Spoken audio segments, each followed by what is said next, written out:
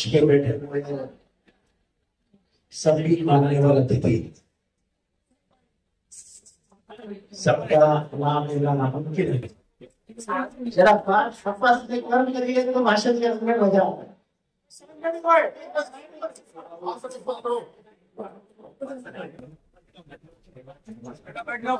ये अलग चुनाव आप लड़ने जा रहे हैं। जो जोश हमारे पंतप्रधान मोदी जी के भाषण में उनके चेहरे पे दिखता था, वो रौनक खत्म हो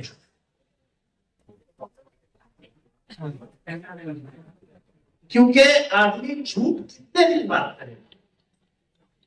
दो हज़ार चौदह में उसने पागल बना दिया था लोगों को। हर बच्चे के मुँह पे था, अब की बार मोदी सरकार ये व्हाट्सएप हम लोग आज देख रहे हैं, आज।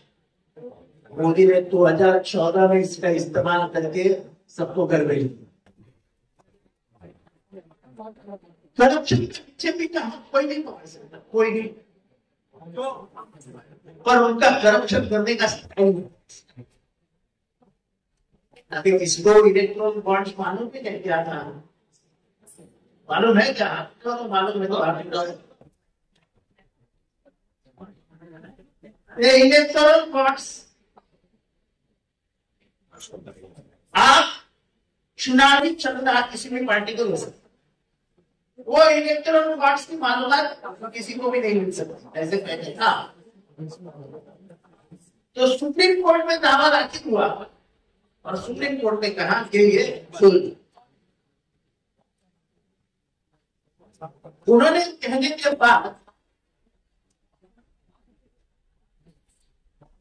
हमारे जो एडवोकेट जनरल थे अटॉर्नी जनरल उन्होंने कहा कि ये अगर खुल गया तो देश में हाहाकार हो जाएगा तो बड़े सख्त चीफ जस्टिस भारत के। उन्होंने कहा कि होना है होने दो। भारत के लोगों को यह मालूम मिलनी चाहिए। इस सरकार ने ना कोशिश की छुपाने के लिए। लेकिन चीफ जस्टिस माना नहीं अभी मोदी जी आके बोलते हैं कि देखो, मैंने कैसी ट्रांसपेरेंसी रखी थी। यानी उन्होंने पहले विरोध किया बताने के लिए, अब बोलते ट्रांसपेरेंसी रखी ट्रांसपेरेंसी क्या है आप में से कोविड कितने लोगों को होता कोविड कोविड किसको हुआ था? अरे यार मुमरा में हाथ ऊपर नहीं करता अरे आदि क्षेत्र नहीं हो सकता। तो मैंने हाथ ऊपर किया तो हमको लेके जाएँगे। कोरोना कोरोना कोरोना कितने लोगों को हुआ था?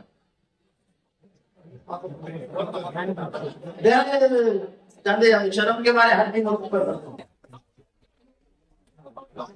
तब एक इंजेक्शन दिया जाता था, रेमडेसिविर। वो रेमडेसिविर इंजेक्शन मत तो ऐसे वर्ल्ड ऑर्गेनाइजेशन ने ख्याल भेजा कि इससे मौत हो सकती है इंजेक्शन बंद करो। एक जाइडस कैडिला नाम की कंपनी थी जाइडस कैडिला वो इंजेक्शन बनाती गुजरात ड्रग एडमिनिस्ट्रेशन ने जाइडस कैडिला को परमिशन दे दिया। वो परमिशन देने के बाद अनेक राज्यों के हॉस्पिटल्स ने लिखा केंद्र सरकार को इसमें फंगस है, बैक्टीरिया है लोगों की मौत बढ़ रही है। इंजेक्शन बंद नहीं हुआ। जब अभी सब पन्ने खुले रहे हैं तो पता चलता है, उसी वक्त पे जाइडस कैनेडा ने पचासी करोड़ रुपया बीजेपी को इलेक्टोरल बॉन्ड्स के रूप में दिया। तो आपका मौत का सौदा पचासी करोड़ में उड़ा और पचासी करोड़ कौन ले रहा था यानी जिसको लेजिटिमाइजिंग ऑफ़ करप्शन बोलते हैं। इसको हिंदी में क्या कहें भ्रष्टाचार को सब लिगलाइज करना। वो काम हो रहा था उस सरकार में। और तो बहुत सारे उदाहरण है। महँगाई की ये केवल से कोरोनी में जाने वाला एक रास्ता बना रहा है और समृद्धि में एक रास्ता बना रहा है। ऐसा दोनों काम मिलकर तीस हज़ार करोड़ रुपए का काम उसको मिले, उसने तीस हज़ार करोड़ का काम लिया और उन्होंने उसको एक हज़ार रुपए चंदा दिया। एक हज़ार करोड़ रुपया बीजेपी को दिया, तब जाके उसको तीस हज़ार करोड़ रुपए दिया ये स्तर का भ्रष्टाचार होने लगा। देश कहा जाएगा कहा जाएगा? हमारी माँ बहनों से पूछो दाल के भाव क्या है? हमारी माँ बहनों से पूछो गैस का भाव क्या है? इधर ये बच्चों से पूछो डीजल डीजल और इसके भाव क्या है? धर्म के राजनीति से देश नहीं चल सकता, ये बार बार हम कह रहे आज उस आदमी का जन्मदिन है, जिसने पहली बार कहा था ये धर्म है उसको राजनीति मत उस आदमी का नाम था कार्ल मार्क्स। आज उसका जन्मदिन है। लेकिन पहले जन्म का चुनाव हुआ? और मालूम क्या हो गया? बोले यह संपत्ति तो देश है, मुसलमानों में बांटी जाएगी। अरे मेरे बाप ने कमाई हुई संपत्ति में किसी को बांटने दूँगा क्या? मेरे सगे का भाई को ना दूँ लेकिन बाहरी करने मुसलमानों का हुआ तैयार करते हैं मैं तो हमेशा सुनता हूँ करोड़। और बयासी करोड़? ऐसी कभी लड़ाई हुई है ज़िंदगी में हुई पर वो भगवा दिखा के लोगों को लेकिन इस बार ये भी जादू चलने रही है। हिंदू भी सावध हो गया और मुसलमान भी बहुत सावध हो गया कोई प्रतिक्रिया नहीं आ रही है। और मैं चाहूँगा कि जिस हालात में आज आप शांत रहे हो, यही रास्ता आपको अपनाना पड़ेगा और यही रास्ता भारत की जमहूरियत को बचाने। अब संविधान के ऊपर बात करते हैं। यह भारत देश एक ऐसा देश है जिसमें हज़ारों भाषाएँ हैं। हज़ारों तरीके हैं और हज़ारों जातियाँ हैं। धर्म रहेंगे आठ लेकिन इन सबको एक देश के संविधान ने किया।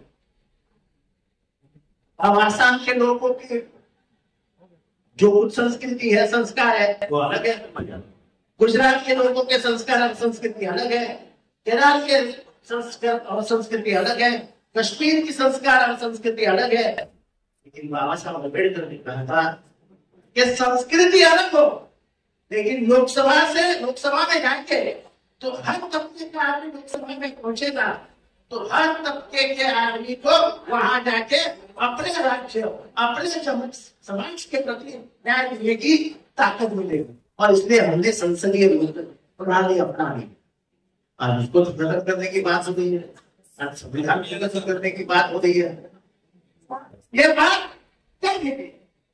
जब उन्होंने पहला नारा दिया, अब की बार चौसौ पार। अब की बार चार सौ पार। संविधान की आर संविधान बदलने वाला है। ये सबसे पहले संविधान को, संविधान जिसको मालूम है, उनको धक्का पहुँचा कि संविधान कहीं ना कहीं बदला जाएगा। और आप बोलने लगे लिख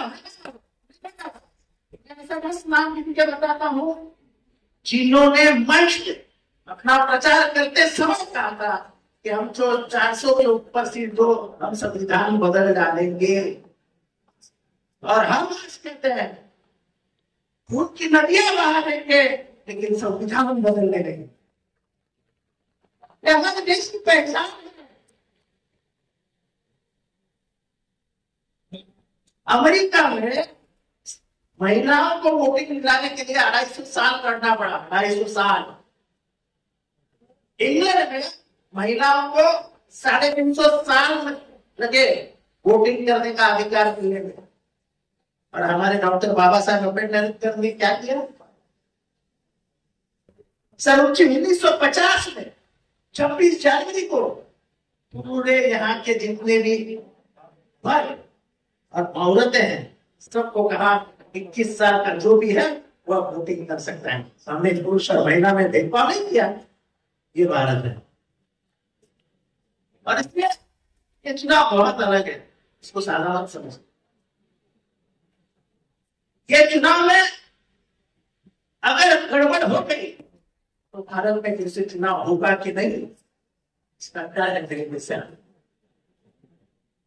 और इसलिए ये जिंदाबाद मुर्दाबाद ये ठीक है घोष बढ़ाने के लिए थी लेकिन मुझे लगता है कि जितने भी लोग आए जिम्मेदार लोग आए मुसलमान वोटिंग क्यों कम करते हैं? ये सवाल अपने आप से पूछना वोटिंग कम करते हैं और उनको अधिकार ज़्यादा चाहिए। अगर आप वोट नहीं करते तो सवाल भी मत पूछा गया जो वोट करेगा वही सवाल पूछे। डॉक्टर बाबा साहब अंबेडकर ने कहा था तुम अगर वोट डालते समय गलती करोगे तो गलत शासन आके तुम्हारे सर पर बैठेगा। आज देश में वही हाल। अब उठते ही नहीं दस ग्यारह बजे उठते हैं। फिर बीबी को बोलते जा रहा जा पूछ लेके आए फिर बस बिरयानी कोरमा बीमा बनाते हैं। फिर बीबी को बोलते हैं कि जरा देर सुनते हैं। जाते हैं उनको पाँच बजे उठते हैं। पाँच बजे उठने के बाद बोलता है आधा घंटा रहा अब क्या बजे उठे ऐसा नहीं चलेगा।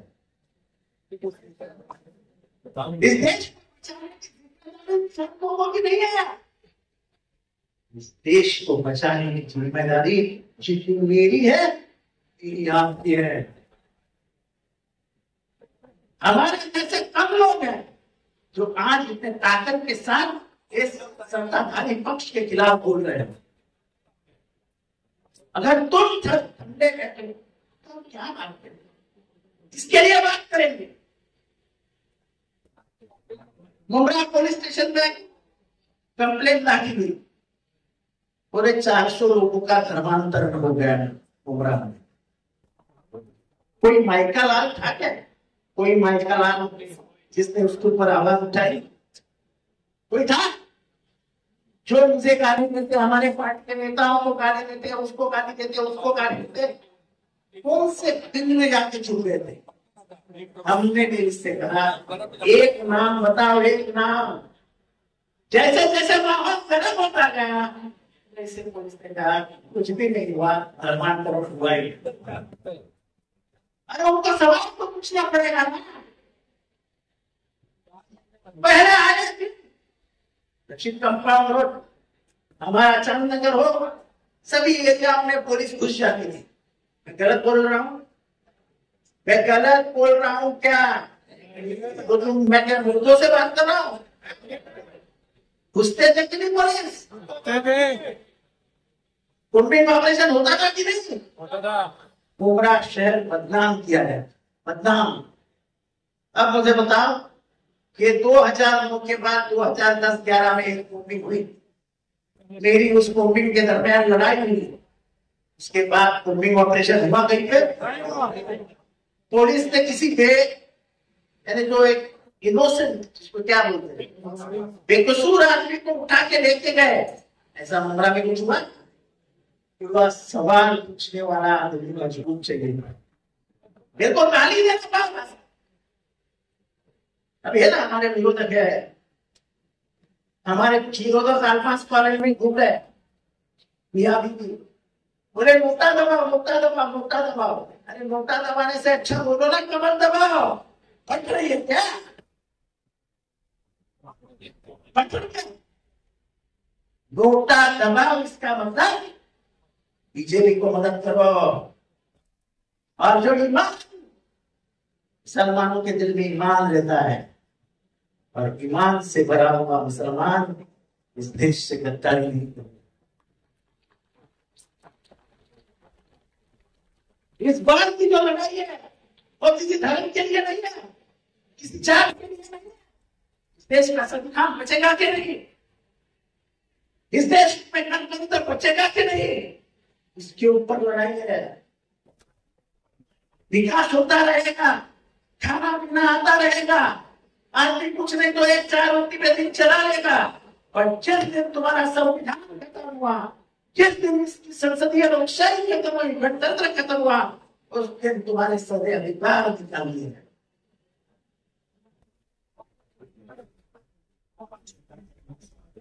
मंगलसूत्र की बात करता है मंगल सूत्र मंगल सूत्र की बात की ना उसने कि मंगल सूत्र भी बांटे जाएँगे। सवाल पूछो उससे कि मणिपुर के आउट पे उनको नंगा किया गया? नंगा करके उनके ऊपर बलात्कार किया गया? क्या उनके गले में मंगलसूत्र नहीं था? उस मंगलसूत्र का क्या हुआ? जो हमारे रेसलर भजनी कुश्ती खेलती थी, उन्होंने जब आरोप लगाया हमारा लैंगिक अत्याचार करता है तब मंगलसूत्र के बारे में आपने नहीं सोचा। जब बिल्किस बानों के बारह बिल्किस बानों के ऊपर बारह लोगों ने रोए नहीं किया और के पंद्रह लोगों को मार। डाला उनको जब जेल से छोड़ा गया तो हार फूल पहना के उनके उनका स्वागत कर दिया। तब आपको नहीं लगा कि इस लड़की के भी गले में मंगलसूत्र था?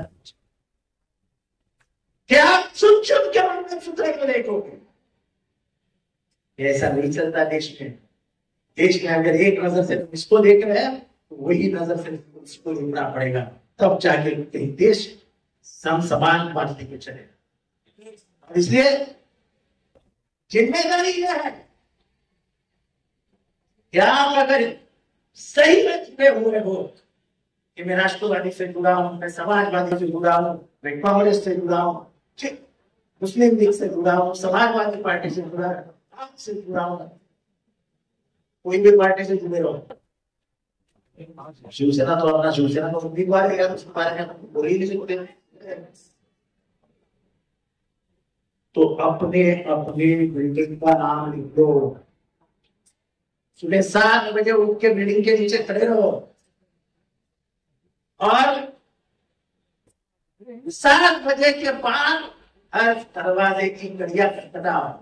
उठो उठो उठो। आठ बजे तक खटखटा के रहो। और बोलो, चलो निकलो चलो निकलो चलो निकलो। हमारी ये ज़िम्मेदारी है। तीस परसेंट वोटिंग होता है, मेरा तीस परसेंट। सत्तर परसेंट लोग वोटिंग ही नहीं करते क्या अधिकार है आपको पानी मांगने का? क्या अधिकार है आपने आपको बिजली मांगने का?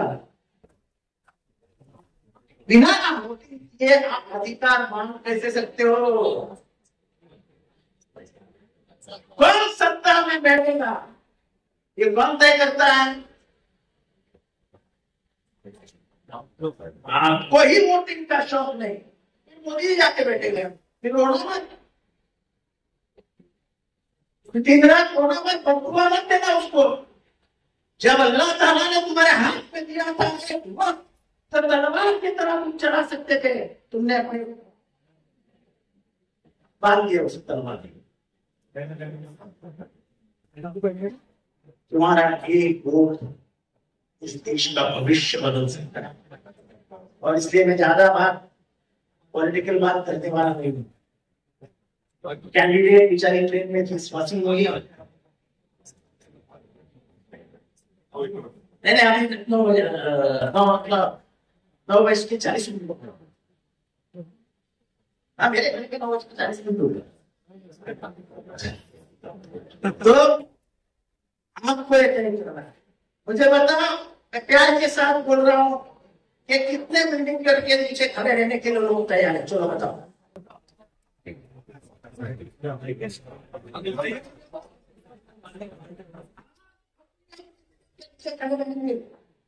और ज़िम्मेदारी के साथ सबको उठाएँगे और ये देखेंगे कि अपने बिल्डिंग का सौ परसेंट वोटिंग हो गया है। और बाद में सीटों के साथ खाना आगे सो जाए। इसी मुझे अपनी निशानी मालूम है। ना क्या है राष्ट्रवादी की निशानी क्या है मालूम है ना बजाओ नहीं है तो अपना मशाल निशान है मशाल निशान में धप्पा मारिए। बाकी पाकिट मारो ने हमारी घड़ी चुरा के देखे गए और पाकिट मारो को सीधा कर देंगे हम। कोई सवाल नहीं आएगा। लेकिन इस बार आपको ज़्यादा से ज़्यादा वोटों से वोट करके वैशाली कार्यक्रम को जिताना है और हम इंडिया अलायंस के साथ है। इंडिया अलायंस और एनडीए के साथ है। ये मुमरा से इंडिया संदेश जाना चाहिए। जय हिंद, जय महाराष्ट्र हाफिज।